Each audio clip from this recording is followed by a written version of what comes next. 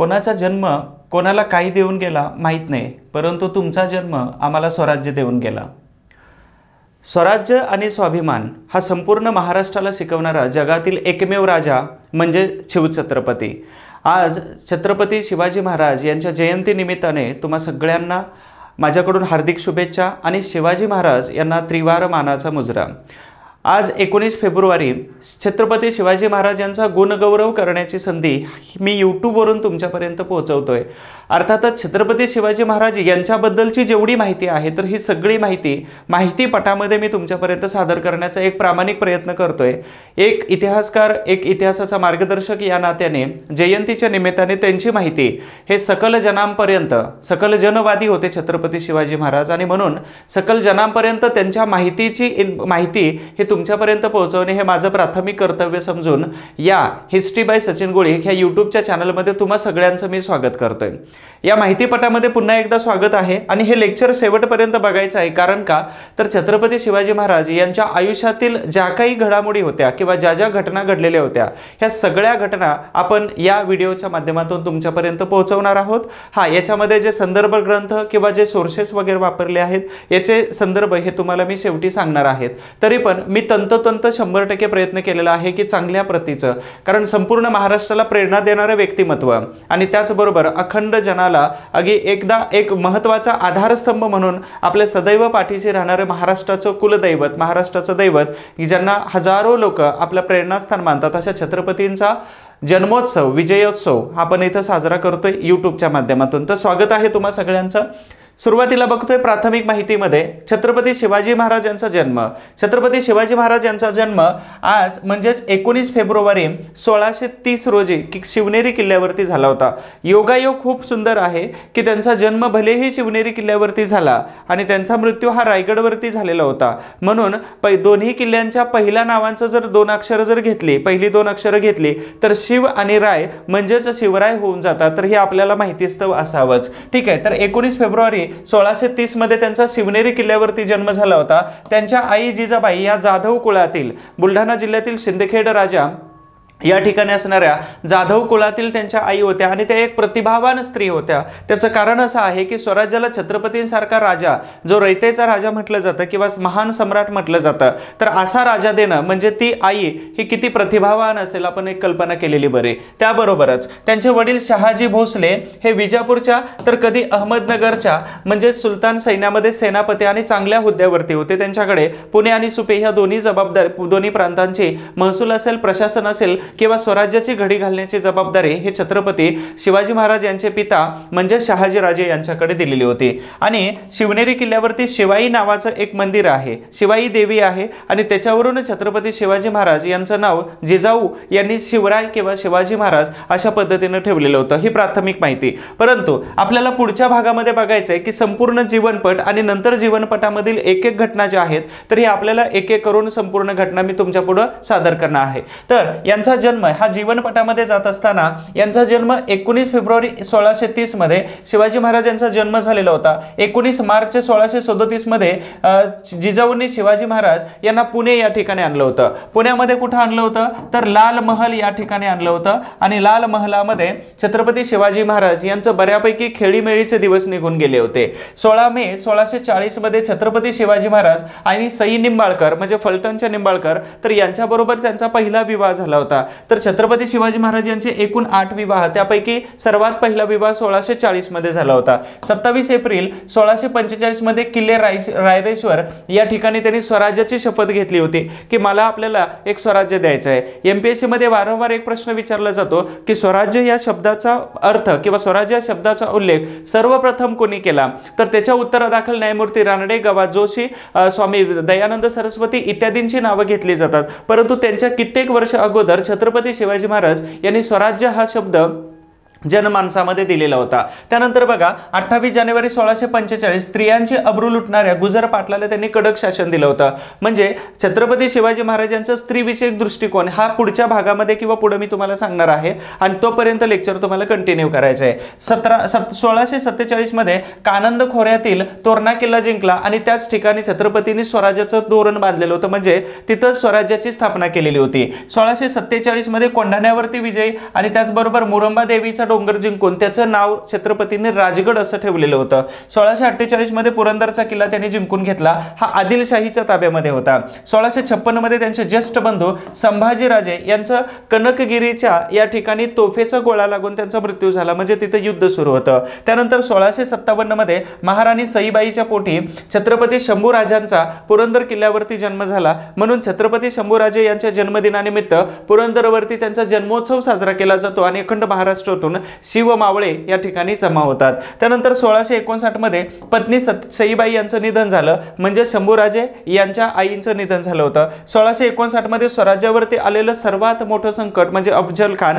यांचा स्वराज्याच्या बॉर्डरवरती म्हणजे प्रतापगड सातारा जिल्ह्यामध्ये या प्रतापगडाच्या पायथ्याशी त्यांचा वध केलेलं होतं. हेही तर रोमांचक थरार मी तुम्हाला स्पष्ट करणार आहे. यानंतर सोळाशे साठमध्ये सिद्धी जोहर यांनी पन्हाळा गडाला म्हणजे आदिलशहा अफजल खानाच्या वधानंतर आदिलशहाने सिद्धी सिद्धी जोहरला तिथं पाठवलं आणि छत्रपती शिवाजी महाराज यांना वेढा घातला. आणि तिथून कशा पद्धतीनं बाजीराव देश देशपांडे यांच्या मदतीनं अगदी गजाखिंड किंवा पावनखिंडीला वेळ पुढे टाकून अगदी विशाळगडावरती शिवाजी महाराज कसे आले होते हाही तुम्हाला प्रसंग सांगणार आहे. सोळाशे त्रेसष्टमध्ये पुण्याच्या लाल महलावरती आलेला शाहिस्ते खान हा औरंगजेबाचा मामा. हा आपल्या महलातून जातच नाही म्हणून त्याची बोटं कापण्यापर्यंतचा प्रसंग. सोळाशे चौसष्टमध्ये शहाजीराजांचे शहाजी राजांचे कर्नाटकच्या होदिगरी या ठिकाणी झालेलं निधन. सोळाशे पासष्टमध्ये पुरंदरची लढाई झाली होती. त्याचबरोबर पासष्टमध्ये पुरंदरचा तह झाला आणि पंचवीसपेक्षा जास्त किल्ले हे औरंगजेबाच्या ताब्यामध्ये द्यावे लागले होते. परंतु शून्यातून स्वराज्य निर्माण केलं होतं. त्याला परत दिलेले किल्ले घेणं काही अवघड नव्हतं. म्हणून कधीही कमबॅक करण्याची जर ताकद असेल तर आपण खूप मोठा काही इतिहास घडवू शकतो. हे छत्रपतींनी पूर्ण महाराष्ट्राला नाही तर संपूर्ण जगाला हा सबक दिलेला होता. हा सुपुरंदरचा तह. सोळाशे सत्तरमध्ये गड आला पण सिंह गेला. म्हणजे तानाजी मालुसरे यांनी सिंहगड किल्ला हा ताब्यात घेतलेला होता. त्रेस त्र्याहत्तरमध्ये कोंडाजी फर्जंद यांनी पन्हाळा किल्ला पत्ते केला म्हणजे जिंकून घेतला. तर सोळाशे सत्तरमध्ये सोयराबाई यांच्या पोटी राजाराम महाराज म्हणजे छत्रपती शिवाजी महाराज यांच्यानंतरचे दुसरे म्हणजे त्यांचे दोन नंबरचे सुपुत्र आणि स्वराज्याचे तीन नंबरचे राजे म्हणजे राजाराम तुकाराम महाराजांचा जन्म झाला. सोळाशे चौऱ्याहत्तरमध्ये जोपर्यंत आपण राज्याभिषेक करणार नाही तोपर्यंत आपल्याला अधिकृत राजा असं म्हटलं जाणार नाही. म्हणून त्यांनी राज्याभिषेक सोळाशे चौऱ्याहत्तरमध्ये करून घेतला होता. तर अकरा दिवसानंतर सोळाशे चौऱ्याहत्तरच्या सतरा जून मध्ये माता जिजाऊ यांचं निधन झालेलं होतं सत्याहत्तराव्या वर्षी. आणि सोळाशे चौऱ्याहत्तरमध्ये शाक्य पद्धतीने छत्रपती शिवाजी महाराज यांनी पुन्हा एकदा आपला राज्याभिषेक करून घेतला होता. दुसरी महत्वाची गोष्ट की तीन एप्रिल सोळाशे ऐंशीमध्ये छत्रपती शिवाजी महाराज यांचं विशिष्ट आजाराने किंवा आजारी अवस्थेमध्ये त्यांचं निधन झालेलं होतं. आणि स्वराज्य हे पोरकं झालं होतं किंवा छत्रपती शिवाजी महाराज या राज्याला सोडून गेलं होतं. आणि आपल्याला मात्र स्वाभिमानाने आणि अभिमानाने मान उंचावून जगण्यासाठीची जी प्रेरणा हे छत्रपती आपल्याला देऊन गेले होते. हा थोडक्यात झाला त्यांचा जीवन परिचय हा जीवनपट परंतु आपल्याला संपूर्ण माहिती त्यांच्याबद्दलची घ्यायची छत्रपती शिवाजी महाराज यांना सकल जनवादी म्हटलं जातं. याचा अर्थ असा आहे की संपूर्ण जाती समुदायाला संपूर्ण जाती आणि धर्माच्या लोकांना एकत्र आणण्याचं काम केलं होतं छत्रपती शिवाजी महाराजांनी. याच्यामध्ये मांग रामोशी बेरड आदिवासी त्याचबरोबर माळी साळी कोळी मराठा मुस्लिम आणि मुस ब्राह्मण या सगळ्या जाती समुदायाला एकत्र करण्याचं काम छत्रपती शिवाजी महाराजांनी केलं होतं. आणि त्याचबरोबर बरोबर बारा बलुतेदार आणि अठरा आलुतेदार या महाराष्ट्रामध्ये असणाऱ्या सगळ्या जाती समुदायांना एकत्र करण्याचं काम केलेलं होतं. त्याचबरोबर ऐक्यवादी म्हणजेच काय? तर कोणत्याही प्रकारचा जाती धर्म कोणत्याही प्रकारचा उच्च आणि नीच आणि भेदभाव न करता त्यांनी सगळ्या लोकांना एकत्र आणलं होतं. म्हणजे आपण एखाद्या मोहिम सीमेवरती जात असताना एखाद्या शेतकऱ्याच्या अगदी पिकाला उभ्या पिकाला कुठेही धक्का न लावता तुमच्या अशा पद्धतीनं मोहिमा पार पाडणारे हे छत्रपती शिवाजी महाराज होते. एखादे कुराणाची पद जर सापडली तर त्या कुराणाची प्रत एखाद्या मुस्लिम बांधवाला सन्मानार्थ पोहोचवण्याचं काम हे त्यांनी केलं होतं. म्हणून त्यांना सकल जनवादी आणि ऐक्यवादी अशा दोन रूपाने किंवा दोन पदव्यांनी त्यांना ओळखलं जातं. छत्रपती शिवाजी महाराज यांचा राज्य जयंती उत्सव ही दोनशे चौऱ्याण्णवी आहे आणि राज्याभिषेक जो आहे तो सेवा आहे. अर्थातच काय आहे? तर अशा पद्धतीने छत्रपती शिवाजी महाराज यांच्यावरती आपल्याला संपूर्ण माहितीचा आढावा घेता येऊ शकतो. त्यानंतर बघा प्राथमिक माहितीमध्ये छत्रपती शिवाजी महाराज यांना थोरले सुपुत्र होते त्यांचं नाव संभाजी महाराज. त्यानंतर सोळाशे सत्तरमध्ये ज्यांचा जन्म झाला होता तर राजाराम महाराजांचा. आणि त्यांना तीन मुले होत्या म्हणजे टोटल पाच अपत्य होते. काही ठिकाणी तुम्हाला आठ अपत्यांची माहिती सुद्धा यु- गुगलवरती दिली जाते. तर ती पाच अपत्य मिळालेल्या माहितीनुसार. तर सखुबाई सखुबाई रानोबाई आणि अंबिकाबाई. सखुबाई ही शिवाजी महाराजांची थोरली मुलगी होती. रानोबाई शिवाजी महाराजांची दुसरी मुलगी होती. आणि अंबिकाबाई या छत्रपती शिवाजी महाराजांच्या तिसऱ्या कन्या होत्या. म्हणजेच छत्रपती शा संभाजी महाराज छत्रपती राजाराम महाराज आणि यांच्यानंतर त्यांना तीन मुली होत्या. म्हणजे टोटल पाच अपत्य छत्रपती शिवाजी महाराज यांना होते. त्यानंतर छत्रपती शिवाजी महाराज यांना शिवराय का म्हटलं जातं? तर हे एक खूप सुंदर आणि एक अट्रॅक्टिव्ह उदाहरण आहे की ज्यांचा जन्म हा शिवनेरी किल्ल्यावर किल्ल्यावरती झालेला होता. त्यांचा जन्म शिवनेरी किल्ल्यावरती झाला होता आणि त्यांचा मृत्यू हा रायगड किल्ल्यावरती झाला होता. या दोन्ही शब्दातले पहिले शब्द जर आपण बाजूला घेतले शिव आणि राय म्हणजेच काय बनतं? तर हे शिवराय बनतं. हे आपल्या माहितीस्तव असायला पाहिजे. इंटरेस्टिंग माहिती अजून पुढे आहे. तुम्हाला मात्र इथं व्हिडिओमध्ये टिकून राहायचं आहे आणि शेवटपर्यंत बघायचं आहे आणि जर हा व्हिडिओ तुम्हाला आवडणार असेल तर नक्कीच शेअर करायला विसरू नका. कारण का? तर आपलं प्राथमिक कर्तव्य बनतं की आपण या स्वराज्याच्या भूमीमध्ये राहतो. तर छत्रपती शिवाजी महाराज यांच्याबद्दलची इत्यंभूत माहिती आपल्याला तोंडपाठ असणं गरजेचं आहे. नसेल तर मग असं म्हटलं जातं की छत्रपती शिवाजी महाराज म्हणजेच काय तर राजे जन्माला या पुन्हा जन्माला या. परंतु माझ्या घरी नाही तर शेजाऱ्याच्या घरी. का बरं? तर तुमची ध्येय धोरणं आणि त्याचबरोबर तुमचे जे प्रामाणिकपणाने तुमचा जो ॲटिट्यूड होता हा ॲटिट्यूड आम्हाला झेपणार नाही सद्यस्थितीमध्ये. तर अशी परिस्थिती आहे. तर त्याच्यामुळं हे छत्रपती शिवराय यांचं हे अशा पद्धतीचं नाव होतं. शिवाजी महाराज यांच्या विवाहाबद्दल थोडक्यात माहिती तर यांचे आठ विवाह झालेले होते. सईबाई निंबाळकर यांच्याशी चौदा मे सोळाशे चाळीसमध्ये पहिला विवाह झाला आणि त्या विवाहाचं ठिकाण होतं लाल महल. म्हणून जर तुम्ही पुण्यात असाल तर लाल महल या छत्रपती शिवाजी महाराज यांच्या बालपणीच्या आठवणी आणि त्याचबरोबर वैवाहिक जीवनाच्या आठवणी सांगणारं ठिकाण आहे. आणि पुण्याच्या बाहेरून जर येणार असेल तर नक्कीच लाल महलाला व्हिजिट करा. शनिवारवाड्याचं नाही सांगत आहे परंतु लाल महल मात्र मी नक्की तुम्हाला सुचवायला सुचवेल. त्यानंतर व्यावहारिक आणि राजकारण हे चालू ठेवण्यासाठी त्यांनी अनेक विवाह केले. म्हणजेच किती तर आठ विवाह केलेले होते.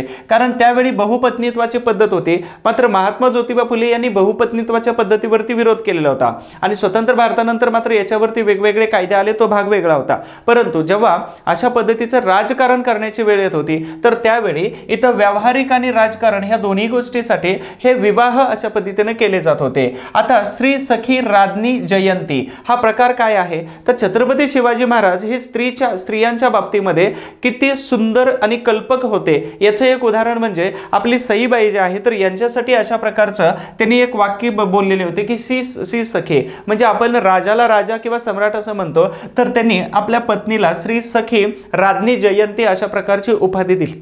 दिलेली होती. छत्रपती शिवाजी महाराज यांच्या आठ पत्नींची नावं हे आपल्याला पाठ असावीत जेणेकरून बघा एम पी एस सीमध्ये कदाचित एखादा क्वेश्चन येऊ शकतो तो पण मुख्य परीक्षेमध्ये.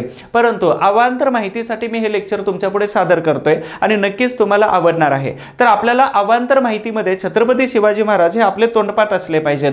कारण का? तर या महाराष्ट्राला पुरोगामी महाराष्ट्र म्हटलं जातं आणि पुरोगामी महाराष्ट्रामध्ये शिवाजी महाराज यांच्यापासून शाहू फुले आंबेडकर इथंपर्यंतचा जो प्रवास आहे तर या चार महापुरुषांच्या नावे आपण या पूर्ण महाराष्ट्राला ओळखतो. आणि म्हणून आपल्याला ह्या चारही महापुरुषांचा जीवनपट आणि माहितीपट सुंदररित्या माहिती असणं आपलं कर्तव्य आहे. तर पहिली पत्नी आहे सईबाई ठीक आहे? सईबाई आहे. त्यानंतर सोयराबाई पुतळाबाई सकवारबाई पुढे काशीबाई सगुणाबाई गुणवंतीबाई आणि शेवटचे आहेत लक्ष्मीबाई. म्हणजेच इथं प्रत्येक घराणे हे वेगवेगळे आणि सरदार घराणं शिवाजी महाराजांनी जोडलेलं होतं. बघा फलटणचे निंबाळकर आहेत सोयराबाई मोहिते पुतलाबाई पालकर सकवारबाई गायकवाड काशीबाई जाधव सगुणाबाई शिंदे गुणवंताबाई इंगळे आणि लक्ष्मीबाई विचारे. तर या आठ पत्नी छत्रपती शिवाजी महाराज यांच्या होत्या. त्यापैकी यांना झालेले काही न झालेले सुपुत्र म्हणजे आपण पाच सुपुत्रांची नावं ऑलरेडी बघितले. छत्रपती शिवाजी महाराज यांनी स्वराज्य निर्माण करण्याची इच्छा कशा पद्धतीनं व्यक्त केली होती थोडक्यामध्ये बघायचं आहे. तर आई जिजाबाई यांच्याप्रमाणे छत्रपती शिवाजी महाराज यांच्यामध्ये सुद्धा कणखरपणा होता देशप्रेम होतं आणि कठीण परिस्थितीतून आपल्याला कसं बाहेर पडायचं आहे तर याच्यासाठीचं एक ध्येय निश्चित होतं आणि म्हणूनच छत्रपती शिवाजी महाराज यांनी स्वराज्य निर्माण करण्याची इच्छा व्यक्त केली. आपण इच्छा व्यक्त केलेली आहे की आपल्याला पास व्हायचं आहे आपल्याला सक्सेस व्हायचं आहे मग आपल्याला पराभवाची चिंता नसायला पाहिजे आणि हे सगळी प्रेरणा आपल्याला छत्रपती शिवाजी महाराज यांच्याकडून मिळते नक्की मिळते. तर या गुणामुळे छत्रपती शिवाजी महाराज हे घडलेले होते. हे गुण सगळे यांचे आई जिजामाई यांच्याकडून मिळालेले होते. तर आईकडून मिळालेली शिकवण आणि प्रेरणा यातून छत्रपती शिवाजी महाराज यांना स्वराज्य निर्माण करण्यासाठी प्रेरित करत होते. त्याचबरोबर स्वराज्य म्हणजे स्वतःचे राज्य ही संकल्पना वयाच्या सोळाव्या वर्षी छत्रपतींना कळाली आणि म्हणूनच त्यांनी स्वराज्याची संकल्पना किंवा इच्छा व्यक्त केली होती. आपल्या स्वराज्याचे रक्षण करायचं जर असेल तर आपल्याला किल्ले हवे आहेत आणि असे महाराजांना वाटून त्यांना साथ देणारे त्यांचे मावळे त्यांचे मित्र हे अगदी गळ्यातला ताईत बनलेले होते. त्यामध्ये काही मावळ्यांचा गट आहे. तो म्हणजे तानाजी मालुसरे. यांनी सिंह आला पण गड आला पण सिंह गेला. तानाजी मालुसरे नेताजी पालकर कान्होजी जेंदे जेधे येसाजी कंक बाजीप्रभू देशपांडे बाजी पाज पासलकर तर यांच्यासारखे मावळे हे अगदी चट्टानासारखे पहाडासारखे हिमालयासारखे छत्रपतींच्या पाठीमागे उभं राहिले. त्याच्यामुळंच एवढं स्वराज्य एवढं मोठं स्वराज्य आणि एवढं मोठं राज्य हे हिंदवी स्वराज्य छत्रपतींना उभं करता आलं होतं. तर नक्कीच तुम्हाला हे माहिती आणि ही सगळी इन्फॉर्मेशन तुम्हाला आवडत असेल. त्यानंतर आपण बघूया स्वराज्याची शपथ छत्रपतींनी कशी घेतली होती. तर वयाच्या सोळाव्या वर्षी तोरण बांधलेलं होतं. रायरेश्वर किल्ला स्वराज्याच्या शपथेचा हा साक्षीदार आहे. रायरेश्वर किल्ल्याला नक्कीच व्हिजिट करायला तुम्हाला आवडेल. त्यानंतर हिंदवी स्वराज्य स्थापन करू इच्छिणाऱ्या छत्रपती शिवाजी महाराजांना शूर तरुणांचा एक गट मिळाला होता. जो गट मी ऑलरेडी मग पाठीमागे सांगितला होता. आणि त्याचप्रमाणे त्या सगळ्यांना छत्रपती शिवाजी महाराजांनी एक नाव दिलं होतं. ते नाव म्हणजे म्हणजे महाराष्ट्रामध्ये फक्त तरुण पिढीला आणि दिलं जातं आणि म्हटलं जातं त्यांना मावळा असं म्हटलं जातं. त्यानंतर त्यांच्या मित्रांपैकी कान्होजी जेदे बाजी पासलकर तानाजी मालुसरे नरसप्रभू गुप्ते सोनोपंत डबीर सूर्याजी मालुसरे एसाजी कंक सूर्याजी काकडे इत्यादी लोक रायरेश्वराच्या मंदिरात गेले आणि रायरेश्वराच्या मंदिरात जाऊन छत्रपती शिवाजी महाराज यांनी जशा पद्धतीने हिंदवी स्वराज्य स्थापन करण्याची शपथ घेतली होती तशाच पद्धतीने ह्या सगळ्या मावळ्यांनी आम्ही तुमच्या पाठीशी आहोत तुम्ही फक्त हो बोला आणि तुम्ही फक्त पुढे राहा आम्ही सगळे मावळे तुमच्या पाठीशी आहोत अशा पद्धतीचं शपथ त्यांनी दिलेली होती. आणि सोळाशे पंचेचाळीसमध्ये म्हणजेच वयाच्या सोळाव्या वर्षी पंधरा वर्ष कंप्लीट झाल्यानंतर सोळाव्या वर्षी त्यांनी स्वराज्याची शपथ घेतली. त्यांच्या समकालीन असणारे संत तुकाराम महाराज. आणि संत तुकाराम महाराज यांनी पहिल्यांदा राजा हा शब्द छत्रपती शिवाजी महाराज यांना उच्चारलेला होता. आणि हा राजा म्हणजेच कसा असेल? तर रयतेचा राजा असेल. बघा इतर जगातल्या सगळ्याच राजांनी स्वतःसाठी घरं बांधली. स्वतःसाठी माड्या बांधल्या. स्वतःसाठी खूप मोठे राजवाडे बांधले. आणि स्वतःसाठी आलिशान मकानं बनवली. परंतु छत्रपती शिवाजी महाराज यांनी सगळं काही रयतेसाठी केलं होतं. आणि म्हणूनच त्यांना रयतेचा राजा असं म्हटलं जातं. आणि रयतेचा राजा हा जो किताब आहे तर हा संत तुकाराम महाराज यांनी दिला होता. आता जगद्गुरू संत तुकाराम महाराज यांचे विचार हे परिवर्तनवादी होते क्रांतिकारी होते आणि त्यांचीच प्रेरणा ही जिजाऊंसारखी छत्रपती शिवाजी महाराजांना नेहमी भेटत होती. आणि म्हणूनच असे महान गुरु जेव्हा भेटतात तर त्यावेळी मात्र राजा आणि कार्य हे सुद्धा त्याच्यापेक्षा कितीतरी महान होतं. छोटीशी एक सूचना आहे की इतिहासाच्या एम पी एस सी आणि यू पी एस सीच्या आपल्या batches history by Sachin Gulik ह्या ॲप्लिकेशनमध्ये आहेत सगळ्या. ऑनलाईन बॅचेस आहेत आणि अधिक माहितीसाठी तुम्ही या नंबरवरती मला फोन करू शकता. एम पी एस सीमध्ये कंबाईन असेल त्याचबरोबर राज्यसेवा असेल आणि यू पी एस सी म्हणजे सिव्हिल सर्व्हिसेस तर या सगळ्यांच्या बॅचेस म्हणजे ऑब्जे ऑप्शनल सहित इतिहासाच्या तर या सगळ्या बॅचेस आपल्या या ॲप्लिकेशनमध्ये आहेत. तुम्हाला नक्कीच त्या बॅचेसमधून इतिहासामध्ये मार्क जर येत नसतील अवघड जात असेल आणि खूपच कठीण वाटतं तर तुम्हाला नक्कीच इथं सोपा वाटणार आहे. जशा पद्धतीने इथं सांगितलं जातं तशाच पद्धतीने ॲप्लिकेशनमध्ये अगदी साध्या ट्रिक्स आणि साध्या सोप्या पद्धतीनं तुमच्या समजण्याच्या पद्धतीनं तुम्हाला ह्या बॅचेस अवेलेबल होऊन जातील. छोटीशी सूचना होती. आपण छत्रपती शिवाजी महाराज यांची जयंती पाहतोय. शिवाजी महाराजांची जयंती पहिल्यांदा कधी सुरू कोणी सुरू केली होती? तर तुम्ही नुकताच आलेला सत्यशोधक नावाचा मूव्ही पाहिला असेल. त्यामध्ये सुद्धा दाखवलेला आहे की पहिला सीन आहे की छत्रपती शिवाजी महाराज यांची समाधी जी आहे तर ही अगदी महात्मा ज्योतिबा फुले यांनी शोधून काढली होती. तर गोष्ट आहे सोळा एकोणीस फेब्रुवारी अठराशे एकोणसत्तरची. आणि एकोणीस फेब्रुवारी अठराशे एकोणसत्तरमध्ये छत्र छत्रपती शिवाजी महाराज यांची समाधी शोधण्यासाठी अगदी टाइम्स ऑफ इंडियामध्ये एक आर्टिकल आलं होतं. आणि त्या आर्टिकलचा आधार घेऊन महात्मा ज्योतिबा फुले रायगडावरती गेले आणि त्या रायगडावरती शिवाजी महाराजांची रयतेच्या राजाची समाधी शोधून काढली. आणि पहिल्यांदाच समाधी पहिल्यांदा जयंती जी आहे तर महात्मा ज्योतिबा फुले यांनी त्या ठिकाणी सुरू केली होती. याच्यानंतर अगदी आपल्याला ब्रिटिशांच्या विरोधामध्ये जर काय स्टँड घ्यायचा असेल तर अठराशे त्र्याण्णवमध्ये सुरू केलेला गणेश उत्सव हा फेल गेल्यामुळे अठराशे पंच्याण्णवमध्ये लोकमान्य टिळक यांनी दुसऱ्यांदा शिवाजी महाराजांची जयंती साजरी केली होती. अशा पद्धतीनं जयंती कधी साजरी केली यावर त्या आयोगाकडून प्रश्न विचारला जातो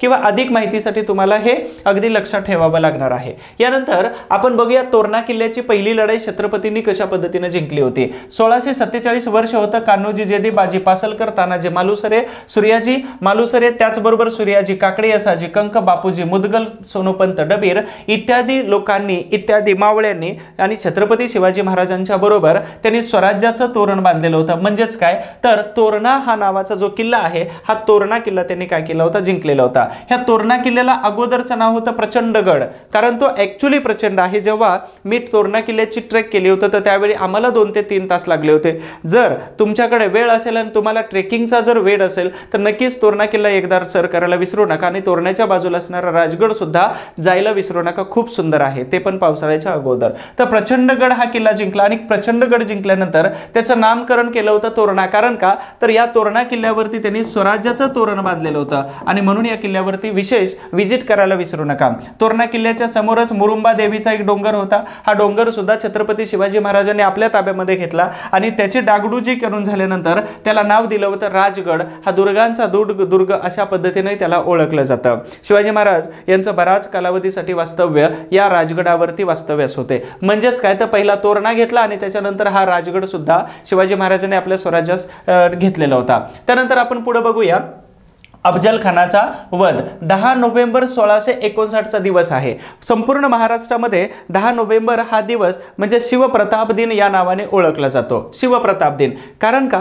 तर शिवाजी महाराज यांचं राज्य सुंदररित्या चालू होतं. परंतु वरून उत्तरेतून असणारा मोगल बादशाह आणि दक्षिणेतून असणारा आदिलशहा या दोघांनाही मधलं साम्राज्य नको होतं आणि म्हणूनच त्रस्त झालेल्या आदिलशहाने आपल्या दरबारातल्या वकिलांना आव्हान दिलं. आपल्या दरबारातल्या सरदारांना आव्हान दिलं की छत्रपती शिवाजी महाराजांचा बिमोड कोण करणार? आहे.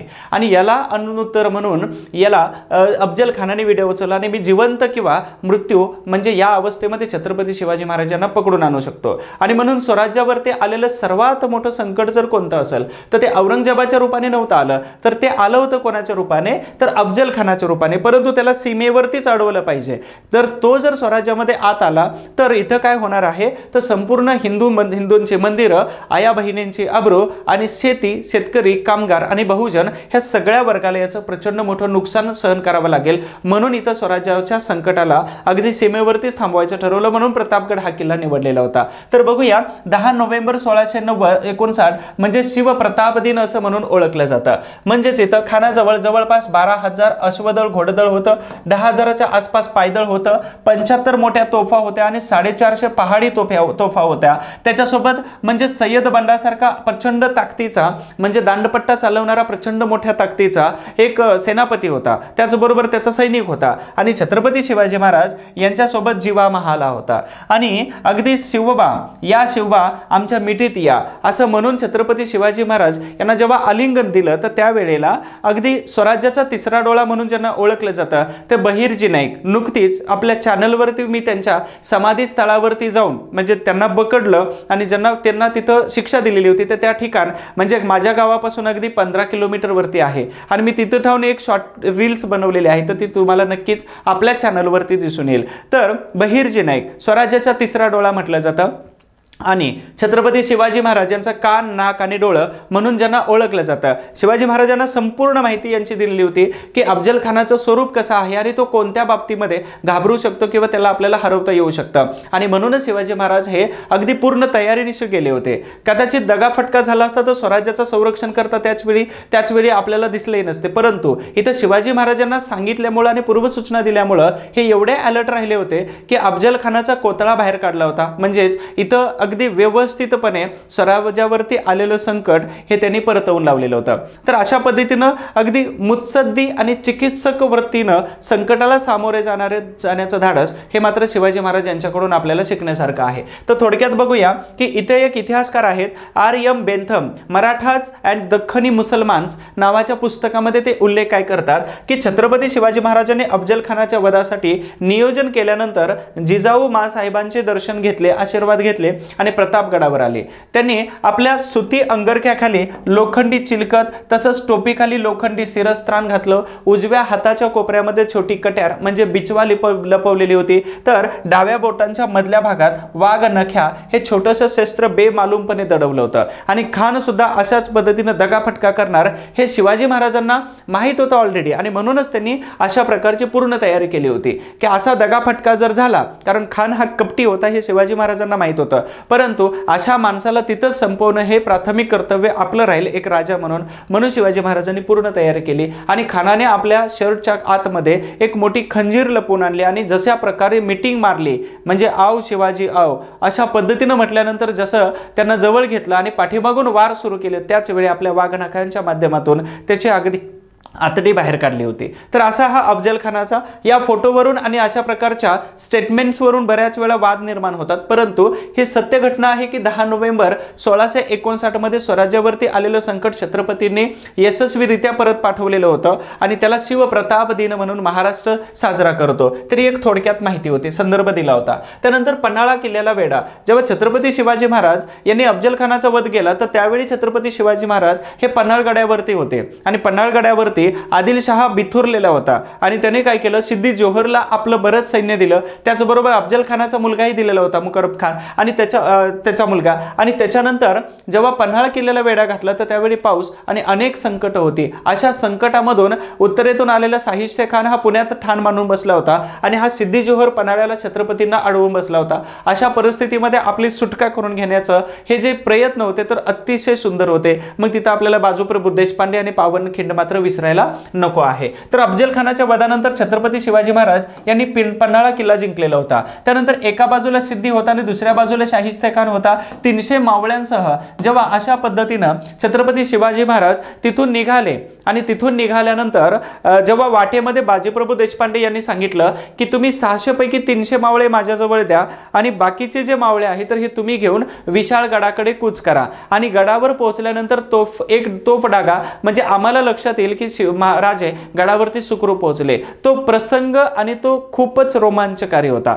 तुम्ही बाजीप्रभू देशपांडे नावाचा मूवी पाहिला असेल तर त्याच्यामध्ये तुम्हाला तो रोमा रोमांच दाखवलेला आहे. तर बाजीप्रभू देशपांडे यांनी आपले तीनशे मावळ्यांसह एकाही सिद्धी जोहरच्या सैनिकाला ते खिंड ओलांडून पुढं पाठवलेलं नव्हतं जाऊ दिलेलं नव्हतं. म्हणजे प्रसंगी आपल्या हातातली ढाल जरी तुटली तर त्यांनी अगदी डोक्याचा पागोटा काढला आणि त्याची ढाल बनवून इथं अशा पद्धतीने ही खिंड लढवलेली होती. आणि सिद्धी जोहर हैराण झाला होता की ही योद्धे आहेत कसले की एक एक योद्धा आमच्या वीस वीस पन्नास पन्नास शंभर शंभर सैनिकांवरती भारी पडतो. आता ही प्रेरणा होती. म्हणजेच म्हटलं जातं ना की लाख मेले तरी चालतील परंतु लाखाचा पोशिंदा जगला पाहिजे. आणि याचं सर्वात जिवंत उदाहरण म्हणजे बाजीप्रभू देशपांडे यांच्यासारखे मावळे छत्रपतींच्या सोबत होते. आणि म्हणूनच छत्रपती शिवाजी महाराज यांना ऐं एकूण सोळाशे ऐंशी पर्यंत कोणत्या प्रकारचा धोका आणि धक्का पोहोचवलेला नव्हता. तर ही गजापूर जी खिंड होती तर ही बाजीप्रभू देशपांडे यांच्या बलिदानामुळं ही पावन खिंड बनली होती. नऊ मे सोळाशे साठमध्ये शाहिस्ते खानाने पुण्यातील लाल महालाला किल्ला वेढा घातलेला होता. ह्याची एक इंटरेस्टिंग स्टोरी आहे ते आपण पुढच्या स्लाइडमध्ये बघणार आहोत. तर अशा पद्धतीनं गजापूर खिंडीमध्ये बाजीप्रभू देशपांडे यांनी छत्रपती शिवाजी महाराजांना पुढं पाठवून दिलं आणि ती खिंड लढवली. तिथं एक खूप सुंदर गोष्ट आहे. मी गेल्या वर्षीच्या शिवाजी महाराजांच्या व्हिडिओमध्ये सांगितली होती. शिवाजी महाराज सकाळी सहा वाजण्याच्या पहाटे म्हणजे अगोदरच या विशाळगडावरती पोहोचले आणि गडांचा एक नियम होता त्यावेळेचा की सूर्यास्त आणि सूर्योदय याच्यामध्येच काय केलं जावं? ते गड ओपन केले जावे.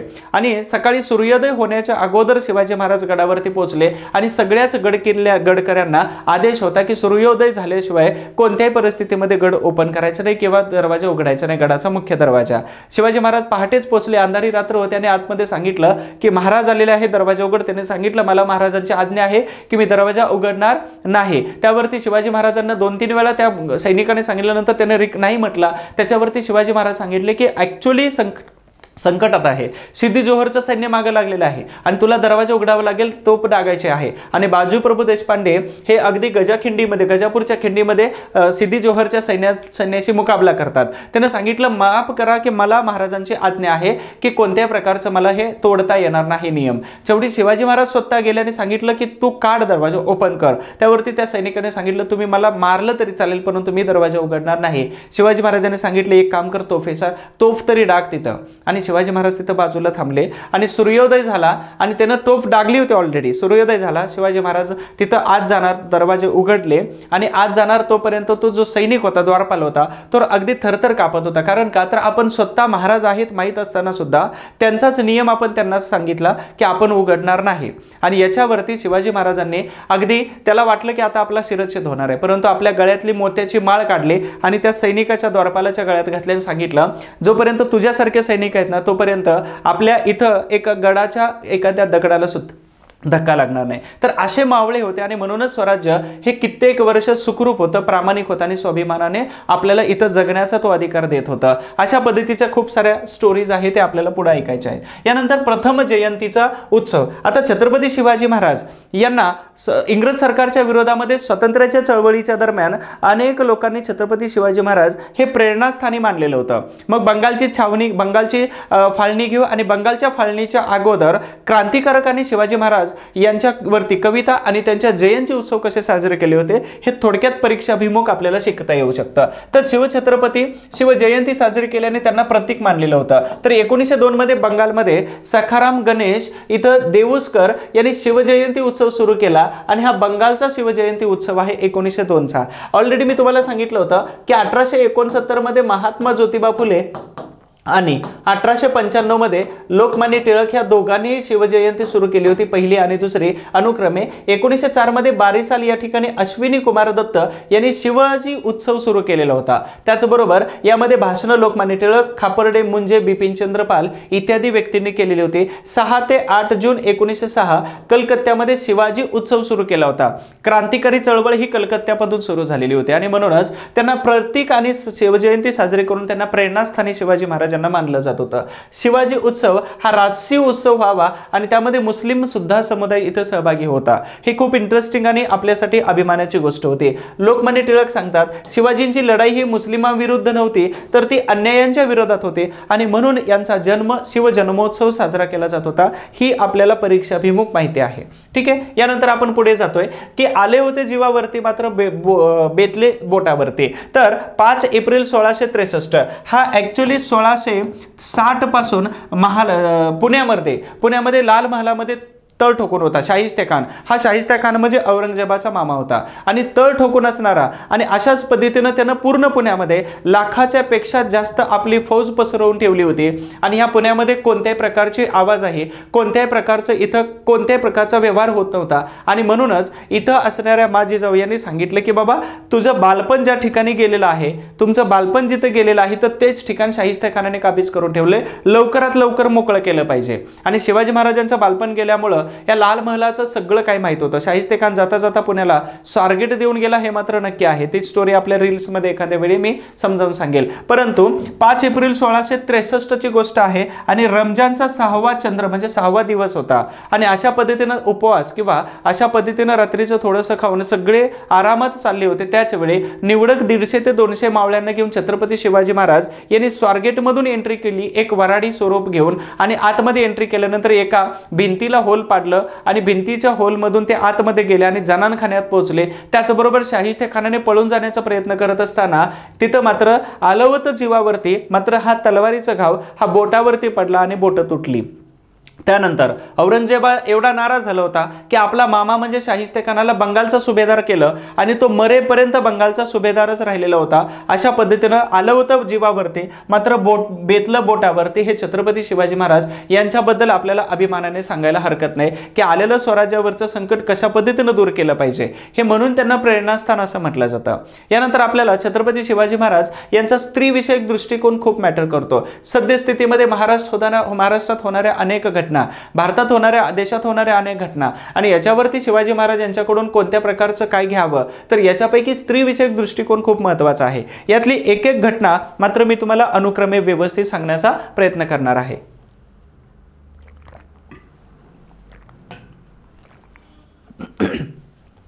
पहिलं जेव्हा शहाजी राजे यांचं निधन झालं होतं तर त्यावेळी त्यांच्या मातोश्री जिजाबाई या सती जाण्यासाठी तयार झाल्या होत्या परंतु छत्रपती शिवाजी महाराज यांनी सती जाण्यापासून त्यांना वाचवलेलं होतं. ठीक आहे दुसरी महत्त्वाची गट- गोष्ट म्हणजे स्त्रियांना दास्यत्वातून मुक्तता दिलेली होती. दास्यत्वातून स्त्रियांचा तिथं अगदी बाजार बाजार चालायचा. म्हणजे विक्री होत होती. आणि त्याच्यामुळं स्त्रियांची खरेदी विक्री सुद्धा छत्रपतींच्या कालावधीमध्ये बंद झालेली होती. कल्याणची सून तुम्हाला माहीत असेल की आबाजी सोनदेव या सेनापतीनं जेव्हा अगदी या कल्याणचा प्रांत जिंकला होता तर त्यावेळी त्यांची एक सुंदर सून या सुनबाईला छत्रपती शिवाजी महाराज यांच्या दरबारामध्ये त्यांनी भेट म्हणून आणलं असताना छत्रपती शिवाजी महाराज यांनी सन्मानाने त्यांना साडी चोळी केली आणि त्यांना विनंती केली माफी मागितली आणि सांगितलं की तुमच्यासारखी जर आमची आई असती तर आम्ही किती सुंदर असतो. आम्ही सुंदर दिसलो असतो. तर कल्याणची सून आबाजी सोनदेव यांनी आणलेली ही सन्मानाने त्यांना परत केलेली होती. म्हणजे स्त्रीचा आदर हा छत्रपती शिवाजी महाराज यांच्यापासून. पुढे शिवरायांची धर्मकन्या रायबागन हे उंबरखिंड छत्रपती शिवाजी महाराज यांना यांचा जेव्हा आग्र्यामधून सुटका झाली आणि जेव्हा ते पुन ब- स्वराज्यामध्ये आले तर त्यावेळी सोळाशे सत्तरच्या दश दशकामध्ये सोळाशे सत्तरमध्ये शिवाजी महाराजांनी औरंगजेबाचं सु सुरत जे शहर होतं जिथून अरबांचा व्यापार चालत होता आणि औरंगजेबाला मुघलांना खूप फायदा होत होता. म्हणून सुरत हे शहर दुसऱ्यांदा लुटलं आणि दुसऱ्यांदा लुटून जेव्हा ते परत येत होते तर त्यावेळी मुघलांना सम मुघलांना समर्थन देणारे एक राणी होती ती म्हणजेच रायबागन. हे राजपूत राणी होते. आणि रायबागन या राणीबरोबर शिवाजी महाराजांचं दोन हात झाले म्हणजे भांड युद्ध झालं. आणि त्या युद्धामध्ये छत्रपती शिवाजी महाराज यांनी रायबागन या महिलेला किंवा या राणीला अगदी सन्मानासह तिचं राज्य जहागिरी या सगळ्या गोष्टी त्यांना परत दिलेल्या होत्या. त्यानंतर दुसरी महत्वाची की रायबागन यांनी स्वतःला धर्मकन्या आहे आपण शिवाजी महाराज यांची हे घोषित केलेलं होतं. त्यानंतर राजपूत केदार सिंग आणि ते यांच्या पत्नी आणि त्यांचा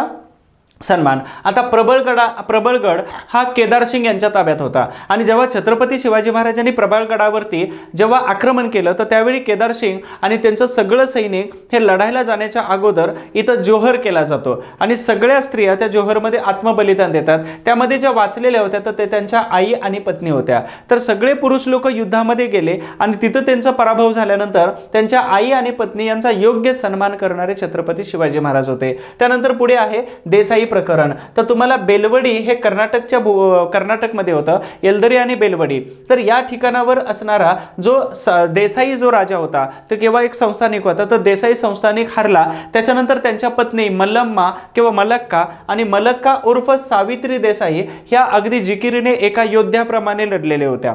त्याचबरोबर तिथं असणाऱ्या स्त्रिया ह्या पुरुषांचा वेश धारण करून छत्रपती शिवाजी महाराज यांचे सरदार म्हणजे यांचे मेहुणे सेखोजी गायकवाड किंवा सेखोजी गायकवाड यांच्याबरोबर लढत होते. आणि सेकोजींना प्रचंड राग आला की कित्येक दिवस म्हणजे जवळपास तेवीस दिवसांपेक्षा जास्त हे सावित्री देसाई नावाची एक स्त्री की किल्ला लढवते आणि आपल्या ताब्यात येत नाही. म्हणून यांना राग आला सेकोजी गायकवाड यांना आणि रागाच्या भरामध्ये तो किल्ला जिंकला. एवढा प्रचंड मोठा राग आला होता की त्यानं या सावित्री देसाई यांच्यावरती लैंगिक अत्याचार केला. आणि जेव्हा ही गोष्ट या छत्रपती शिवाजी महाराजांना समजली तर त्यावेळी आपल्या मेहण्याची सुद्धा कदर केली नव्हती. तर त्यांचे डोळे काढले दोन्हीच्या दोन्ही डोळे काढले. आणि काढल्यानंतर त्यांना आयुष्यभर जन्मठेपेची शिक्षा दिली होती. तर यावेळी सावित्री देसाई जे आहेत ते यांना कैद करून आणल्यानंतर दरबारामध्ये त्यांनी एकेरी उल्लेख केला होता शिवाजी महाराजांचा. आणि त्याचा प्रचंड राग आल्यानंतर जेव्हा हे करण्याचं धाडस का केलं हे विचारलं तर त्यावेळी सांगितले की तुमच्या राज्यामध्ये अशा पद्धतीनं स्त्रियांचा मान सन्मान केला जातो का? एक योद्धा आहे आणि रागाच्या भरामध्ये तुम्ही अशा प्रकारची कृती करावी. आणि तेव्हा लक्षात आल्यानंतर या शेखूजी गायकवाड म्हणजे मेहुना तर यांचे डोळे काढून आयुष्यभर जन्मठेपेची शिक्षा केली होती. त्यानंतर आपल्या ताब्यातील बहुतेक गावांच्या दरवाजावरती एक गोष्ट लक्षात ठेवा. इथं इथं असणाऱ्या सावित्री देसाई ज्या आहेत तर यांच्या मुलाला मांडीवरती घेऊन छत्रपती शिवाजी महाराज यांनी दूध पाजलेलं होतं. मांडीवरती घेऊन बाटलीनं दूध पाजलं. आणि त्याच्यामुळे या सावित्री देसाई एवढ्या प्रभावी झाल्या होत्या की त्यांनी आपल्या राज्यामध्ये आपल्या गावाच्या बहुतांश बहुतेक गावाच्या अगदी दरवाजात आणि मंदिरांच्या समोर शिवरायांची दगडी शिल्प उभा केली होती. ही माहिती आपल्याला माहिती असावी. कारण का? तर छत्रपतींचा स्त्रीविषयक दृष्टिकोन शिकत असताना त्यांचं स्त्रियांविषयीची भूमिका कोणती होती तर ही मात्र आपल्याला लक्षात असावी. त्यानंतर डॉक्टर दिनेश मोरे सरांच्या पुस्तकामध्ये खूप सुंदर दिलेलं आहे की स्त्रीविषयक दृष्टिकोन. त्यानंतर रांजेगावच्या पाटलाला त्यांनी हातपाय तोडण्याची शिक्षा केलेली होती. कारण का? तर त्यांनी सुद्धा स्त्रियांबद्दल अशा प्रकारच्या वाईट नजरेने पाहिलं होतं. म्हणून आपण छत्रपती शिवाजी महाराज यांचा स्त्रीविषयक दृष्टिकोन जर बघितला तर आपल्याला नक्कीच अभिमान आणि स्वाभिमान वाटतो की असा राजा या मातीमध्ये जन्माला येऊन गेलेला होता. त्यानंतर आपल्याला पुढे बघायचं आहे की सुरतेची लूट. सुरतेची लूट हा साधारणतः 됩니까?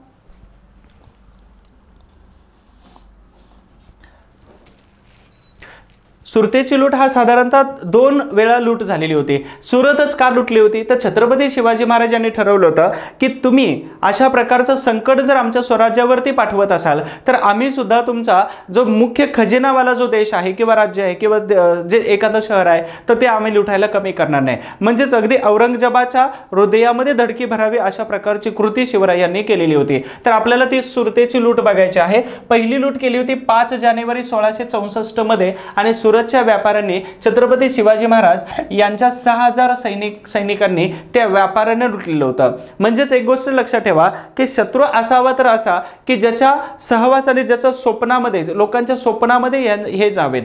म्हणजेच अशा पद्धतीने हे शत्रुत्व होतं. त्याबरोबर दुसरी लूट केली होती ऑक्टोबर सोळाशे सत्तरमध्ये आणि यामध्ये छत्रपती शिवाजी महाराज जवळपास सुरतला तीन दिवस लुटत होते. परंतु एक गोष्ट लक्षात ठेवा की छत्रपती शिवाजी महाराजांनी इंग्रजांच्या वाखारीला मात्र लुट लुटलेलं नव्हतं. कारण त्यांच्याबरोबर संबंध अजूनपर्यंत तरी चांगले होते. हा ज्यावेळी एकदा कोकणच्या भूमीमध्ये शिवाजी महाराज यांच्या विरोधामध्ये पोर्तुगीजांना मदत करत होते इंग्रज तर त्यावेळी मात्र त्यांच्या वखारी नष्ट करायला सुद्धा शिवाजी महाराजांनी कमी केलेली नव्हती सोळाशे चौऱ्याहत्तरची गोष्ट आहे. आणि वर्षभर मराठे आले अशा अफवा सुरतमध्ये होत होत्या आणि त्याचबरोबर लोकांची पळापळ आणि धांदल उठत होते. म्हणजेच अशा प्रकारची धडकी तिथल्या व्यापाऱ्यामध्ये भरत होते. दुसरे महाराजांचा पराभव करण्यासाठी छत्रपती शिवाजी महाराज यांनी मिर्झा राजा जयसिंग यांना पाठवलेलं होतं. आणि ही गोष्ट आहे सोळाशे चौसष्टमध्ये पहिली आणि सोळाशे सत्तरमध्ये दुसरी. आता सोळाशे चौसष्टमध्ये जेव्हा शिवाजी महाराजांनी पहिल्यांदा सुरत लुटली होती तर त्यावेळी मिर्झा राजा जयसिंग यांना छत्रपती शिवाजी महाराजांचा बंदोबस्त करण्यासाठी पाठवलेलं होतं. परंतु मिर्झा राजा जयसिंग आणि शिव छत्रपती शिवाजी महाराज यांच्यामध्ये एक तह झाला होता. तो तह होता पुरंदरचा तह. आणि या तहामध्ये अनेक किल्ले छत्रपती शिवाजी महाराज यांना आपल्या स्वराज्यातून तोडून हे मोगलांच्या ताब्यामध्ये द्यावे लागले होते. त्यांना माहीत होतं की परत एकदा आपण जबरदस्त कमबॅक करू शकतो. म्हणून जरी कधीही डिमोटिवेट झालात कधीही आपल्याला वाटलं की आपल्याकडून काहीच नाही होणार आहे तर त्यावेळी फक्त पुरंदरचा तह आठवायचा आणि त्याच्यानंतर साडेतीनशे पेक्षा जास्त किल्ले छत्रपतींनी आपल्या स्वराज्यामध्ये जोडलेले होते. हे स्पीड होतं हे काम होतं आणि हे प्रामाणिक कामाची त्यांना मिळालेली पावती होती. यानंतर बघूया पुरंदरचा पट. मिर्झा राजा जयसिंग आले होता आणि त्याचबरोबर दिल्ली दिलेर खान आणि मुरारबाजी या दोघांमध्ये प्रचंड मोठं युद्ध झालेलं होतं. या युद्धानंतर अगदी सोळाशे पासष्टमध्ये पुरंदरचा तह झाला आणि पुरंदरच्या तहामध्ये छत्रपती शिवाजी महाराज यांना मुघलांना तेवीस किल्ले द्यावे लागलेले होते. तर हा पुरंदरचा तह आहे ज्यावरती छत्रपती संभाजी महाराज यांचा जन्म झाला होता. पुण्याच्या आसपास असाल तर नक्की तिथं जायला विसरू नका. आर्मी आहे मात्र त्यांच्या टाईम पिरियडमध्येच तुम्ही गेला तर सुंदररित्या दर्शन तुम्हाला मिळू शकतं.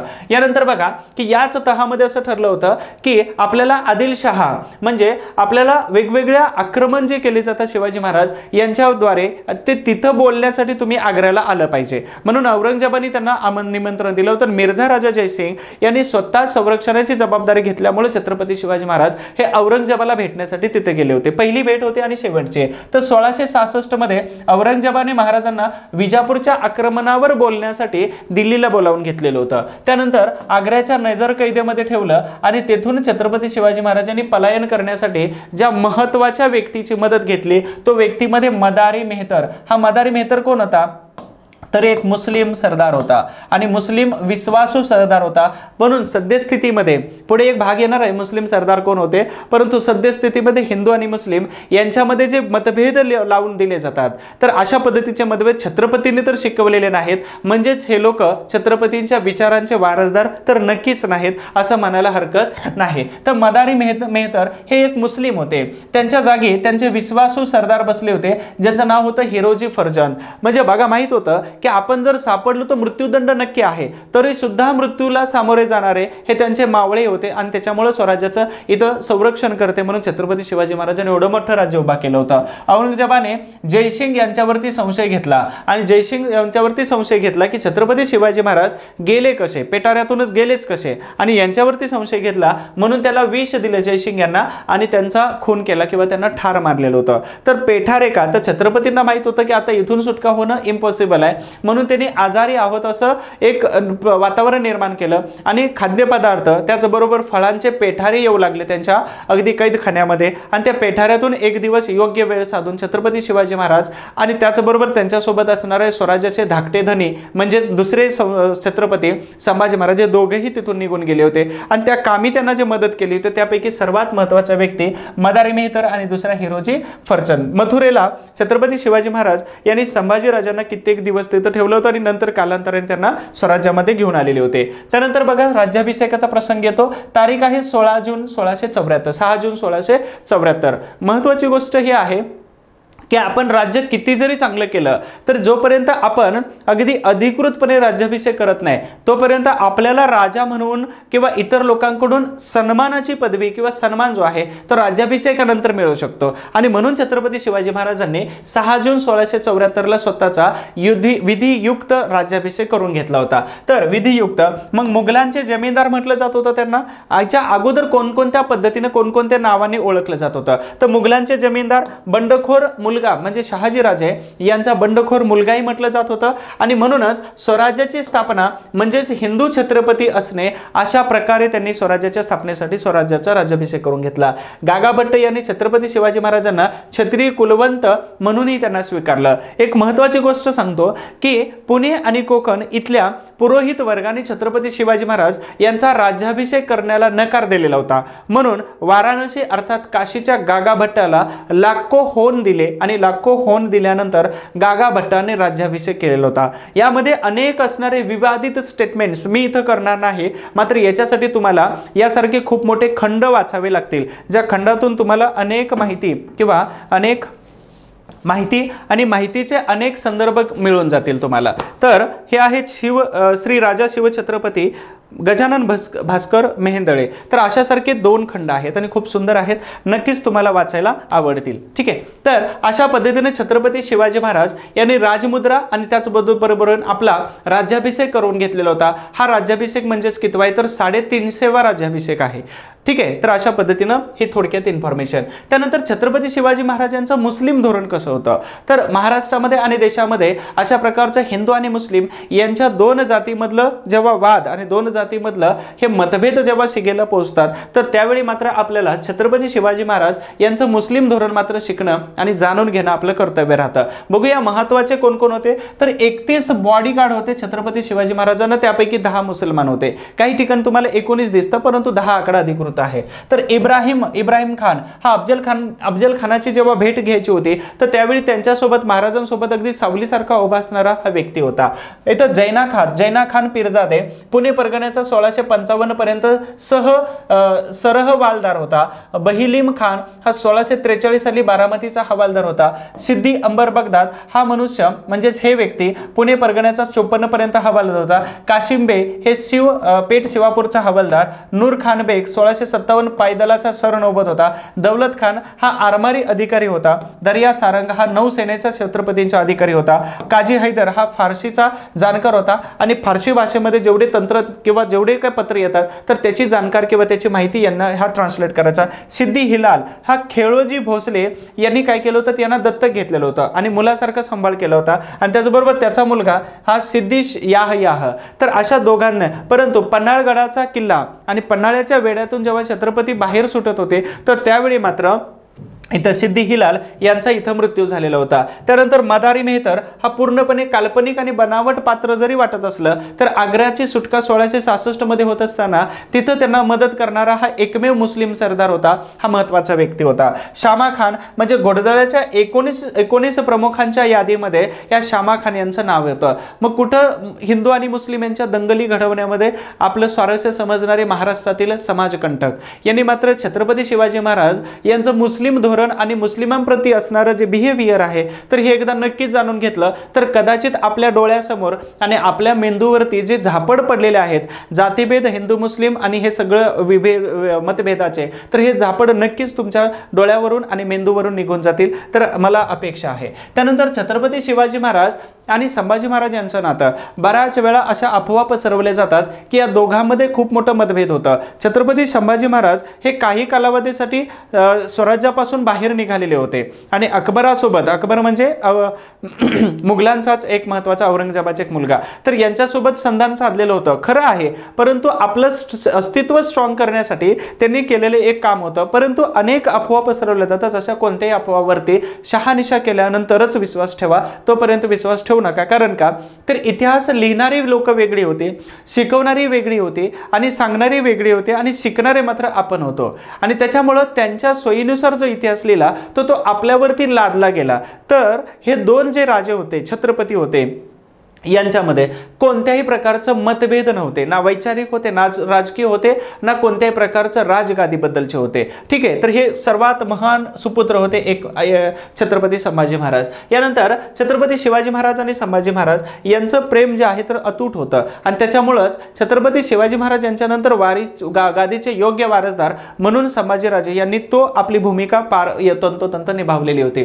दुसरं छत्रपती संभाजी शिवाजी महाराजांची वंशावळ जर बघायची झाली तर आपल्याला मालोजी इथं वाघाजी बाबाजी राजे दिसतात. बाबाजी राजे भोसले त्यांना दोन सुपुत्र होते. एक विठोजी आणि दुसरे मालोजी राजे. तर मालोजी राजे जे आहे तर यांची वंशावळ आपल्याला शिवाजी महाराजांपर्यंत घेऊन जाते. तर मालोजी राजे यांचे सुपुत्र यश य- शहाजी राजे. शहाजी राजे यांना अगदी तीन मुलं होती. तीन मुलांपैकी एक होते संभाजी राजे दुसरे छत्रपती शिवाजी महाराज आणि तिसरे व्यंकोजी राजे. आता यापैकी संभाजी महाराज आणि व्यंकोजी राजे तर हे दोघं स्टॉप होऊन जातात. छत्रपती शिवाजी महाराजांना दोन सुपुत्र होते. एक होते संभाजी महाराज आणि दुसरे होते कोण? राजाराम महाराज. तर संभाजी महाराज आणि राजाराम महाराज हे स्वराज्याचे दुसरे आणि अनुक्रमे तिसरे छत्रपती किंवा सम्राट राजा झाले होते.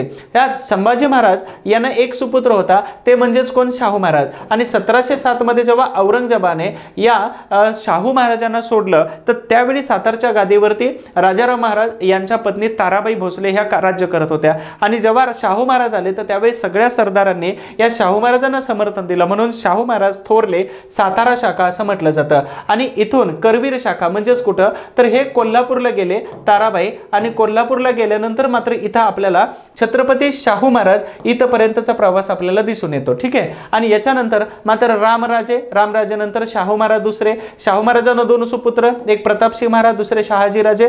यापैकी अगदी प्रतापसिंह महाराज यांना शाहू महाराज एक इथं स्टॉप होऊन जातात. शाह शहाजीराजे महाराज आहेत. तर यांना व्यंकोजी आणि रामराजे. रामराजे इथं शिवाजी महाराज दुसरे होऊन जातात. त्यानंतर वेंकोजी महाराजांना प्रतापसिंग एक मुलगा होता. प्रतापसिंग यांना शाहू महाराज तिसरे हे सुपुत्र झाले. त्यांना चार मुलं होती. एक प्रतापसिंग विजयसिंग उभयसिंग अभयसिंग आणि शिवाजीराजे. आणि प्रतापसिंग यांचा सुपुत्र म्हणजे उदयन महाराज उदयनराजे महाराज. तर इथंपर्यंतचा हा त्यांचा फॅमिली ट्री डायग्राम आहे. आय होप्स तुम्हाला समजलं असेल याची एक इमेज काढून मी आपल्या हिस्ट्री फॉर ऑल या यूट्यूब चॅनलवरती या टेलिग्राम चॅनलवरती टाकून देतो. तुम्हाला ती व्यवस्थित समजेल आणि ही टी डायग्राम जी आहे तर व्यवस्थित समजले पाहिजे. म्हणजेच मालोजी राजे शहाजी राजे आणि छत्रपती शिवाजी महाराज हा त्यांचा अगदी हे महापुरुषांचा टी डायग्राम आहे आणि आपल्या लक्षात असायलाच पाहिजे. त्यानंतर आपण बघूया छत्रपती शिवाजी महाराज यांचा मृत्यू. म्हणजेच मार्च सोळाशे ऐंशी मध्ये ऐंशीच्या उत्तरार्धात हनुमान जयंतीच्या पूर्वसंध्येला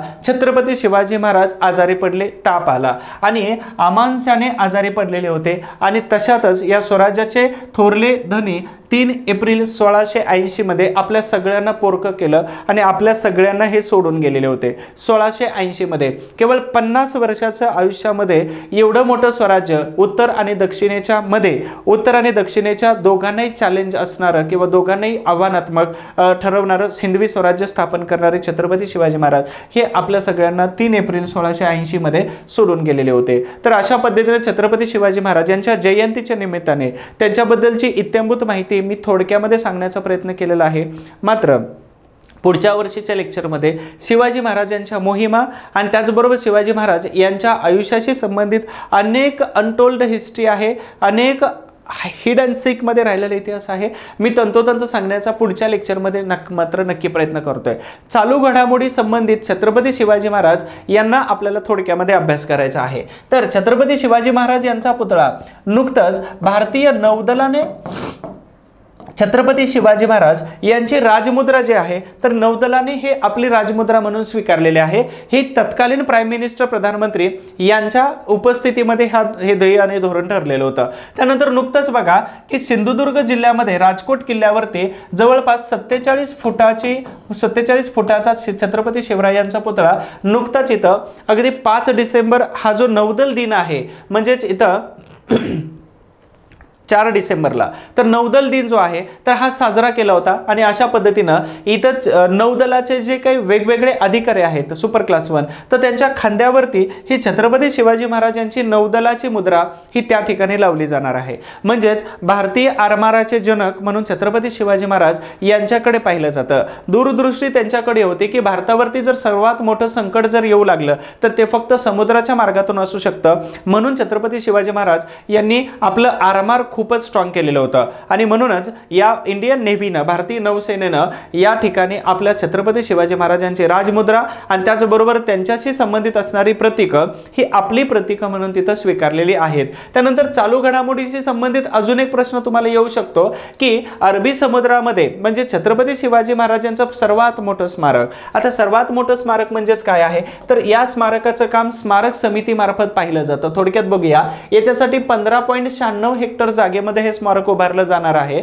याची उंची एकशे ब्याण्णव मीटर अशी ठरवलेली होती. परंतु काही कालावधीनंतर ती दोनशे दहा आणि प्लस दोनशे दहा मध्ये परत दोन फूट मीटर वाढवायचं ठरवलं. म्हणजे दोनशे बारा मीटर जर उंची केली तर जगातील हे सर्वात मोठं स्मारक बनू शकतं हा युक्तिवाद इथं मानला जातो आणि त्याच्यासाठी मान्यता. पण गमत अशी आहे की या कंपनीचं काम एल अँड टी म्हणजे ठीक आहे लार्सन अँड टर्बो. तर एल अँड टी या कंपनीला दिलेलं आहे. त्याचं एस्टिमेट बजेट हे दोन हजार पाचशे एक्क्याऐंशी प्लस जी एस टी तीन हजार नऊशे म्हणजे अठ्ठावीसशे नव्वद कोटी रुपयापर्यंत त्याचं बजेट आहे. आता या कामाला दोन हजार अठरा पासून सुरुवात झालेली होती परंतु हे काम सद्यस्थितीमध्ये बंद आहे स्थगिती दिले. त्याचं कारण आपल्याला माहीत नसतं. त्याचं कारण असं आहे की द कन्झर्वेशन ॲक्शन ट्रस्ट या स्वयंसेवी संस्थेनं काय केलं होतं? तर मुंबईच्या उच्च न्यायालयामध्ये याचिका दाखल केली. मुंबईच्या उच्च न्यायालयाने ही याचिका रिजेक्ट केली. म्हणून त्यांनी काय केलं? तर सुप्रीम कोर्टामध्ये ही याचिका दाखल केली. आणि सुप्रीम कोर्टाने सांगितलं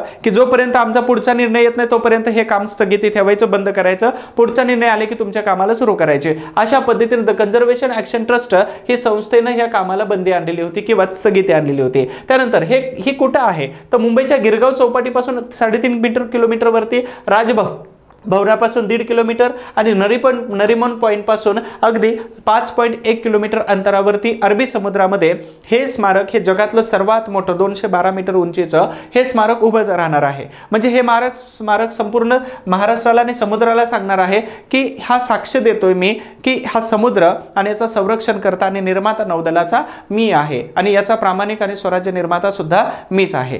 थोडक्यात एक महत्त्वाची सूचना की ऑफलाईन बॅचेस पुण्यामध्ये सुरू आहेत आपले इतिहासाच्या. जर तुम्हाला इतिहास अवघड जात असेल जर इतिहासामध्ये तुमचे मार्क येत नसतील भलेही इथं दहा किंवा पंधरा मार्काची जरी रेंज असली तर इतिहास ज्याला माहीत नाही किंवा जो इतिहास वाचत नाही त्याचा इतिहास कधीच घडत नाही हे वाक्य लक्षात ठेवा. आणि म्हणून इतिहासामध्ये जर तुम्हाला चांगले मार्क घ्यायचे असतील किंवा इतिहास जर अवघड जात असेल तर तुम्हाला ऑफलाईन बॅचेस दिलेले आहेत मी. ऑफलाईन बॅचेस आहेत आपल्या अगदी बी एन अकॅडमीमध्ये इंदुलाल कॉम्प्लेक्स शास्त्री रोड काका हलवाईच्या बाजूला. आणि ह्या बॅचेसमध्ये अपकमिंग जे बॅच आहे तर साधारणतः सव्वीस फेब्रुवारी दोन हजार चोवीसमध्ये पुढची बॅच आहे. ऑफलाईन बॅचमध्ये फी दोन हजार रुपये आहे. आणि ऑनलाईन अमोल पाटील या ॲपमध्ये तुम्हाला अगदी दीड हजार रुपयेपर्यंत ही बॅच अवेलेबल होऊन जाते. तर त्याच्यासाठी दिलेल्या नंबरवरती फोन केला तर तुम्हाला डिटेल्समध्ये माहिती देण्याचा मी प्रयत्न करतो. हे झालं ऑफलाईनचं थोडक्यात ऑनलाईनची माहिती की राज्यसेवा आणि कंबाईन संयुक्त गट ब आणि क ह्या दोन्ही पूर्वपरीक्षांसाठी तुम्हाला ऑनलाईन बॅचेस आहेत. हिस्ट्री बाय सचिन गुळिक या ॲप्लिकेशनमध्ये अधिक माहितीसाठी दिलेला जो नंबर आहे तर या नंबरवरती अगदी हे ॲप्लिकेशन प्ले स्टोअरवरती आहे. या प्ले स्टोअरवरून जाऊन ॲपल आणि आयो आय ओ एस आणि प्ले स्टोअर ह्या दोन्हीवरती अँड्रॉइड ह्या दोन्ही फॉर्मॅटमध्ये तुम्हाला ॲप्लिकेशन अवेलेबल आहे. History by Sachin Gulik Play स्टोअरवरून search करा आणि तिथून ॲप्लिकेशन घेतला तर चालेल. दुसरी महत्त्वाची एक सूचना आहे की पेमेंटसाठी तुम्हाला मात्र व्हॉट्सअपवरती एक लिंक येईल आणि कोर्स बाय केल्यानंतर पेमेंटच्या लिंकवरती क्लिक करायचं. डायरेक्ट तिथून पेमेंट होतं किंवा टेक्स्ट मेसेज येतो. जर तो नंबर व्हॉट्सअपला यूज करत नसाल तर. ठीक आहे? तर दोन्ही बॅचेस तुम्हाला राज्यसेवा पूर्वपरीक्षा आणि गट ब आणि गट क या पूर्वपरीक्षा दोन हजार चोवीससाठीच्या बॅचेस आहे तर याच्यासाठी तुम्हाला अगदी या नंबरवरती फोन करायचा आहे किंवा त्याचबरोबर तुम्हाला प्ले स्टोअरवरून ॲप्लिकेशन घ्यायचं आहे. उमाजी नाईक यांच्याबद्दल मॅकिनतोष काय सांगतोय? की उमाजी नाईक यांना जर वेळीच अडवलं नसतं तर या स्वराज्यामध्ये दुसऱ्यांदा छत्रपती शिवाजी महाराज जन्माला आले असते. हे उमाजी नाईक यांच्याबद्दलचं मॅकिनतोषचं स्टेटमेंट होतं. म्हणून उमाजी नाईक म्हणजे शिवकाळामध्ये रामोशी समाजा गावाच्या संरक्षणाचं काम करत होता. महाराजांना आदर्श ठेवला आणि माझ्या देशावरती परकीयांचं राज्य परकीयांनी राज्य करू देणार नाही आणि परकीयांनी राज्य करू नये असा निश्चय उमाजींनी केलेला होता. इंग्रजांच्या विरोधामध्ये शिवनीतीचा उपयोग केला होता. आणि ही शिवनीती म्हणजेच कोणती असेल? तर गनिमी कावा किंवा छापा युद्ध. तर अशा पद्धतीनं ह्या उमाजी नाईकीने इंग्रजांनी सळो किंवा पळो करून सोडलेलं होतं. अशा पद्धतीने छत्रपती शिवाजी महाराज यांच्या जयंतीच्या निमित्ताने संपूर्ण माहिती मी तुम्हाला दिलेली आहे. हा व्हिडिओ जर तुम्हाला आवडला असेल तर नक्की लाईक करा कमेंट करा आणि तुमच्या मित्रांना तुमच्या ग्रुपमध्ये अभ्यासकांना अभ्यासकांना ह्या सगळ्यांना पाठवायला ना मात्र विसरायचं नाही. तुम्हा सगळ्यांना अगदी या शु शिवदिनाच्या आणि शुभ दिनाच्या निमित्ताने माझ्याकडून खूप खूप शुभेच्छा असतील. बस आपला संघर्ष मात्र कमी पडू देऊ नका. कारण का? तर ज्यांना इतिहास माहीत नसतो तो इतिहास निर्माण करू शकत नाही. आणि इतिहास निर्माण करण्यासाठी तुम्ही सगळ्यांनी अगदी तटे दटे रहो अगदी लगे रहो. आणि त्याचबरोबर तुम्ही हे लेक्चर शेवटपर्यंत बघितलं. त्याबद्दल तुम्हा सगळ्यांचा आभार. विशेष आभार. तुमच्या तब्येतीसाठी तुमच्या अभ्यासासाठी आणि अधिकारी होण्यासाठी माझ्याकडून तुम्हा सगळ्यांना खूप खूप शुभेच्छा. थँक्यू सो मच धन्यवाद. आभारी आहे.